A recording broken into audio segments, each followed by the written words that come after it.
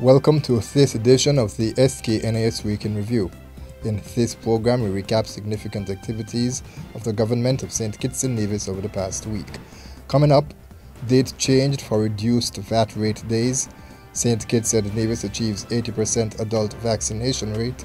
Stakeholders briefed on entertainment sector reopening, and St. Kitts and Nevis to host under 19 Cricket World Cup matches. Those stories and more are next on the SKNIS Week in Review for the period November 26 to December 2, 2021. Hello and welcome.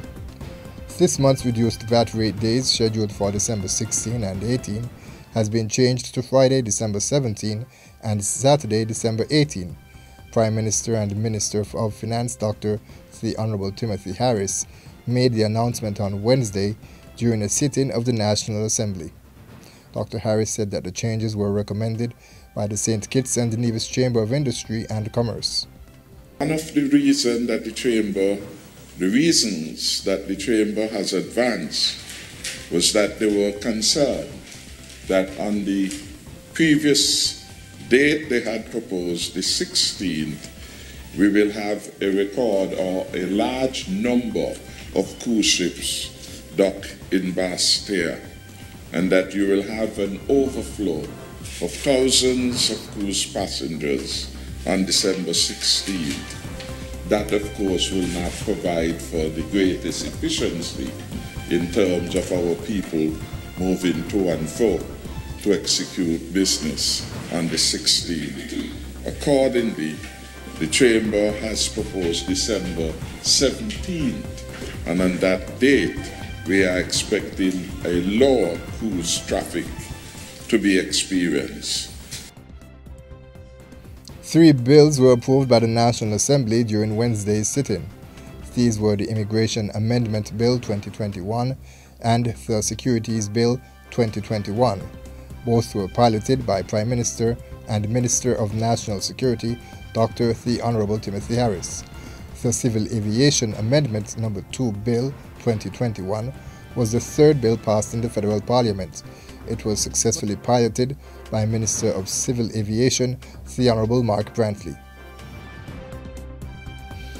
Minister of Tourism, the Honorable Lindsay Grant, extended deepest gratitude to tourism stakeholders and the general public as a whole who helped St. Kitts and Nevis to achieve the 80% adult vaccination rate to protect against COVID 19. Minister Grant expressed the sentiment in an address on Monday.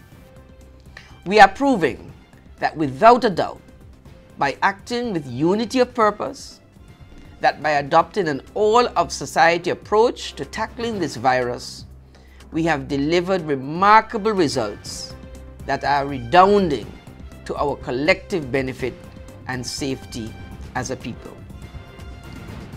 A high vaccination rate increases the pace at which we can fully reopen our society and get back to enjoying the once simple pleasures of socializing with friends and family and attending events. It also increases visitor confidence in travel. Travel to destinations they deem safe. Health authorities in the Federation are closely monitoring developments regarding the new COVID 19 variant designated as Omicron. At Wednesday's briefing by the National Emergency Operations Center, Chief Medical Officer Dr. Hazel Laws stated that while there are still a lot of unknowns about the new variant, there are key areas of concern. What are the main concerns about this variant? Alright, so previously identified mutations found in this Omicron variant have shown potential for increased transmissibility, potential for increased disease severity and probably a reduction in the effectiveness of antibodies that the, the, the, the, your body would have produced either naturally or vaccine induced. Early modeling suggests that Omicron may be as much as 100 to 500% more transmissible than the original strain. But again, uh, this scientific information has to be confirmed or is yet to be confirmed. However, in South Africa and those southern African uh, countries and further afield, there are reports, anecdotal reports coming out uh, of reinfections and breakthrough infections of uh, vaccinated individuals. But one thing we know for sure is that there's a very high risk of this variant being imported uh, to the Caribbean. In light of the Omicron variant and the high risk of importation, several COVID 19 protective measures that were scheduled to be eased are being extended. One such measure was the land and go arrangement for fully vaccinated incoming travelers.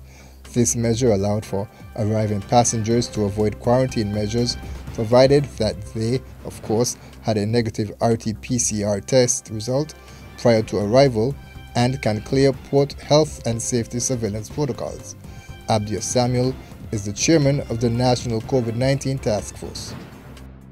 Based on the risk associated with the variant Omicron, uh, the cabinet was advised and accepted the recommendation that was brought from the HOC to the task force, National COVID-19 Task Force, endorsed by the task force, taken to the cabinet uh, yesterday, and this was accepted for us to delay the implementation of the process. The process has not been made obsolete, it's just a delay uh, so that we can give our health authorities, our science uh, experts, the opportunity to get further information on the Omicron so then we can proceed and make an implementation.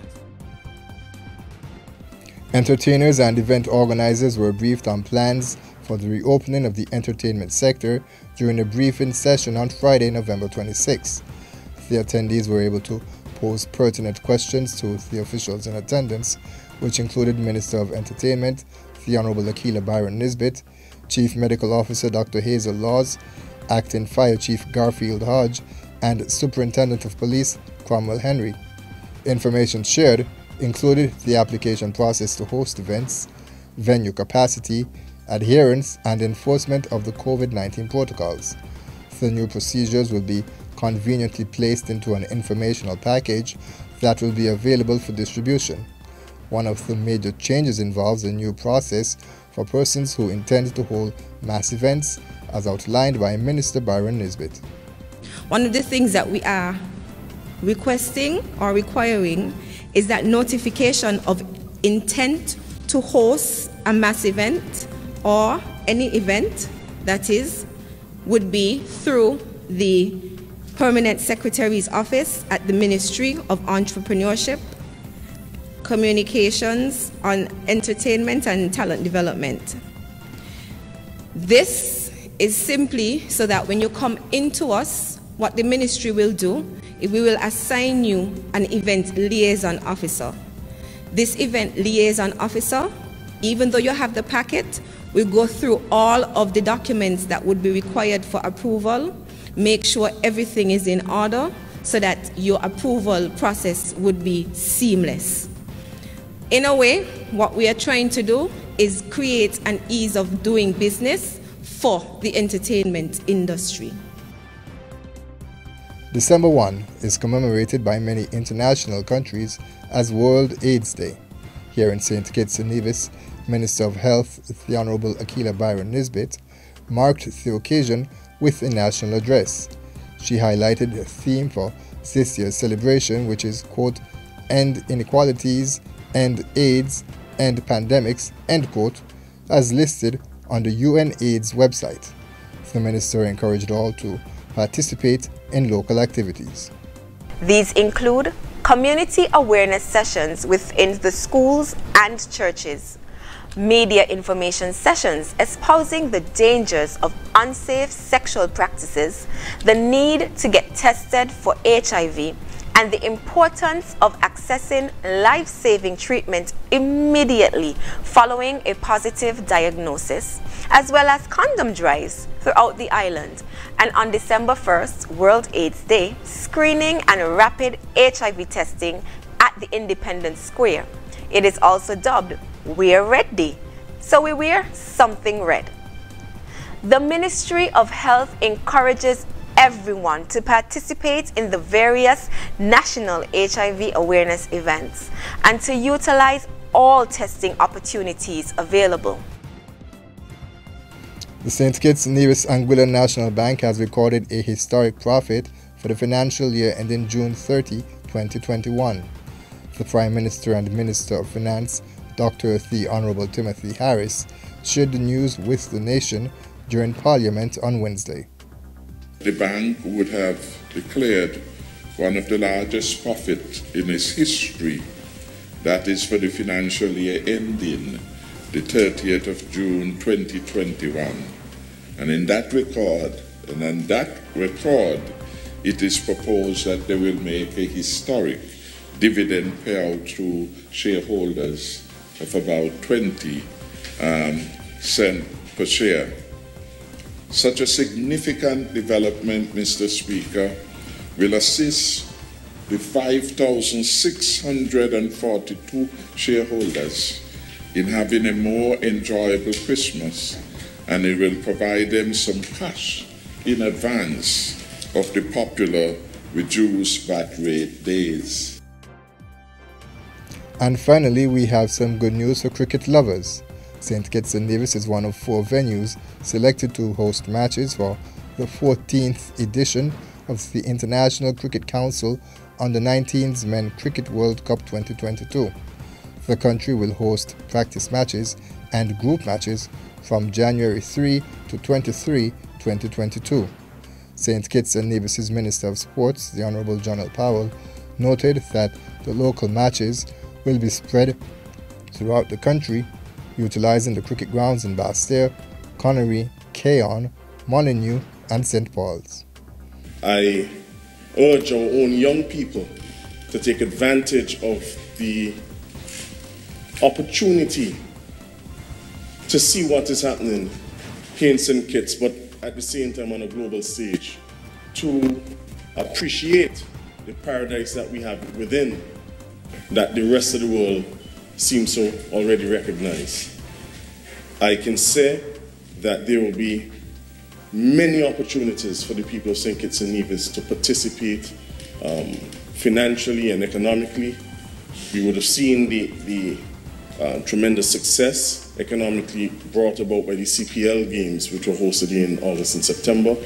And we anticipate the same type of activity, the same type of economic, economic impact uh, through contracts awarded to locals. That's all for this edition of the SKNIS Week in Review. For more information on these and other stories, visit us at sknis.gov.kn. I'm Ian Richards.